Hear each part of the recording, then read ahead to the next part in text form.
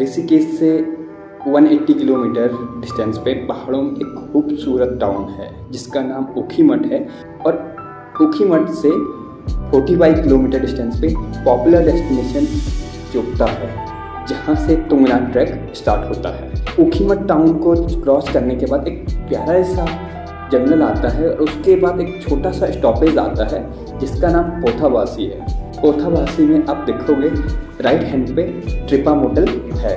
ट्रिपा motel में accommodation and restaurant दोनों available है।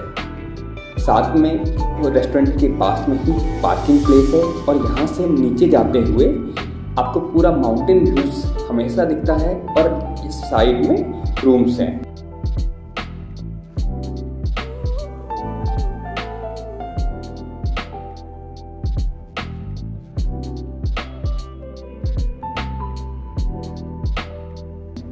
रूम्स की खास बात यह है कि रूम्स के अंदर से ही पूरा माउंटेन्स व्यू विजिबल होता है।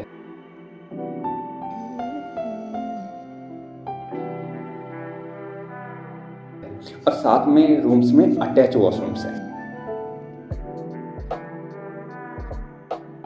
यहाँ से नीचे आने पे आपको दो रूम और दिखेंगे जो डबल बेड रूम्स हैं एंड इनके साथ भी अटैच वॉशरूम्स हैं। सो बेसिकली विंटर में पोथाबासी एक ऐसी जगह है जहाँ तक सारी गाड़ियाँ आ पाती है। हैवी स्नो के कारण यहाँ तक ही गाड़ियाँ आ पाती है और इसके बाद पब्लिक ट्रांसपोर्ट आपको इजीली मिल पाता जिसकी वजह से सारे ट्रैवलर्स चोपता ट्रिप्स इजीली कर पाते हैं।